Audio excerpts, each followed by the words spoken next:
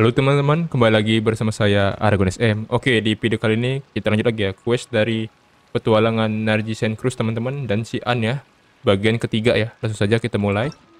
Nah, ini dia ya. Kita masih kisahnya Mary Ann. Nama questnya adalah jika dia sudah tak lagi memimpikanmu ya.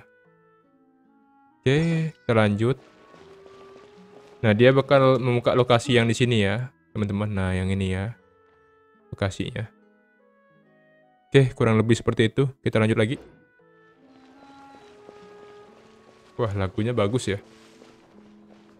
Nah, ini ya, Kak. Putri lirisnya kayaknya, teman-teman.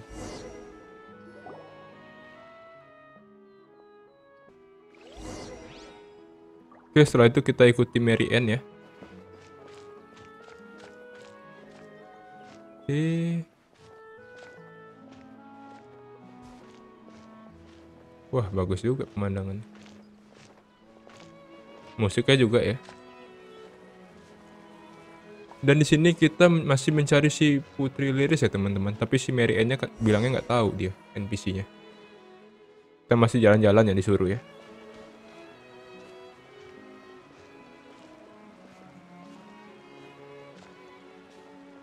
Oke, saya masih bingung ya teman-teman dengan yang quest yang kita sebelumnya kan ada quest yang namanya itu warna kuno itu ya yang ada si anjing NPC Seymour itu. Dia bilang dia itu anjing peliharaannya si Mary Ann ya teman-teman ya. Si Putri Liris katanya ya. Tapi saya belum tahu hubungan pastinya ya. oke kita lihat. Beri makan. Mana nih, nih.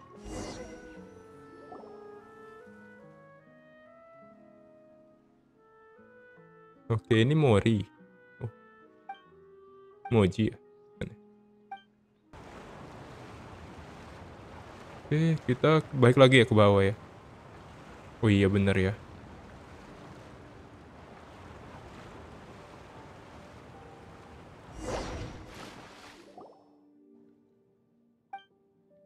Oke, kuis bagian ketiganya selesai ya teman-teman ya. Dan kalian akan mendapatkan achievement juga. Oke, kita buka. Oke ya, jadi sebenarnya saya sedikit aja spoilernya ya teman-teman ya. Jadi sebenarnya quest yang kita kerjakan ini sebenarnya adalah sebuah cerita ya teman-teman ya, cerita yang belum selesai ya. Dan si An itu lagi-lagi dia berjuang lagi. Oke, kita coba turun ke bawah ya. Berjuang lagi untuk menyelesaikan ceritanya ya teman-teman dan menyelamatkan si putrinya itu ya putri Liris ya yang dia maksud. Oke ini kita teleport ke mana nih? Oke. Oke. Dia tembus dari situ ya. Oh ada jalan baru teman-teman berarti. Dari sini waypointnya ya. Berarti dari sini dia bisa tembus ke sini ya. Nah ke sini nih ke Anafausis ini teman-teman Oke, tapi sebelum itu juga masih ada satu lagi ya teman-teman, yaitu sequelnya dari questnya si warna kuno ini dengan hubungannya dengan si petualangan Najisen Cruz ya teman-teman.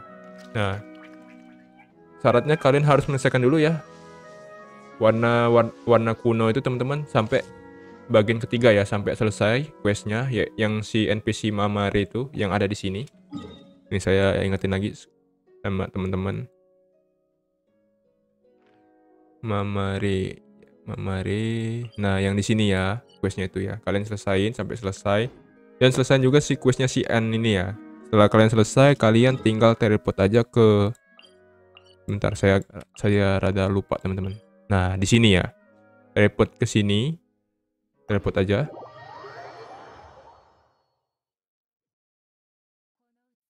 Oke, kita cek dulu. Nah, di sini kan sudah nggak ada tuh ya questnya ya. Ya, ini kita buka dulu deh chestnya. Sudah dibuka. Kita tinggal jalan ke depan aja. Oke, ke depan sebentar.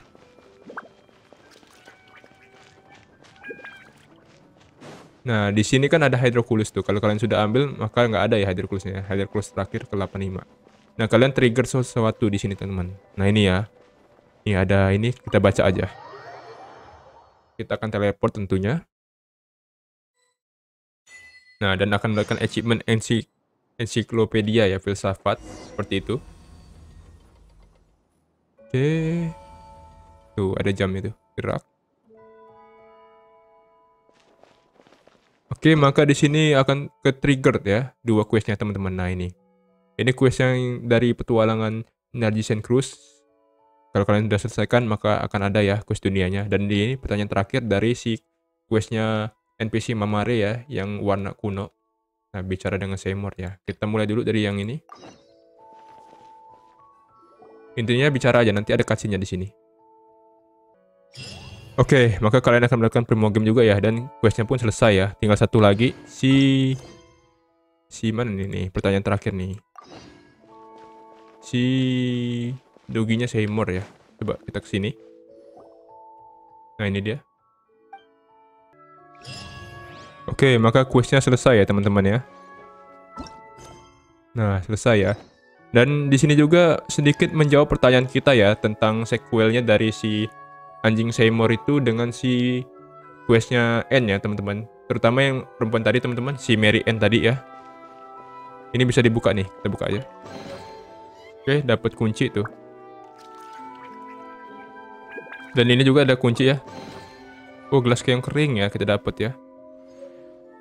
Sedikit menjawab kita ya.